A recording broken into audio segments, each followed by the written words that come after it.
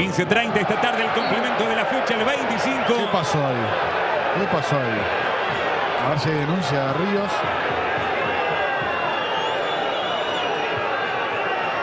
Algo le marca Ríos a Cabrera.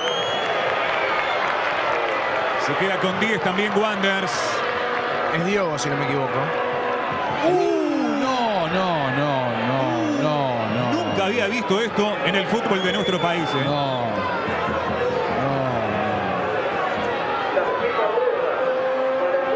No recuerdo algo como esto. ¿eh? A ver, no hace falta palabras, ¿no? Ya está todo claro. La imagen fue clarísima. Lo que acabamos de presenciar y esa agresión por parte del futbolista de Wander que fuera expulsado y que arremetiera con un golpe de puño contra el primer asistente del partido. Que por suerte... ¿Has vivido algo así antes? Por suerte no. La verdad que la viste toda de cerca. Sí, ya pasó.